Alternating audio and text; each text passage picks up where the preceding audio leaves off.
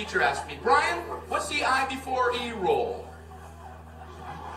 Um, I before E, always. What are you, an idiot, Brian? Well, apparently. So she explains that no, Brian, it's I before E, except after C, and when sounding like A, as a neighbor and weigh, and on weekends and holidays, and all throughout May, and you'll always be wrong no matter what you say. It's a hard rule. It's a rough rule.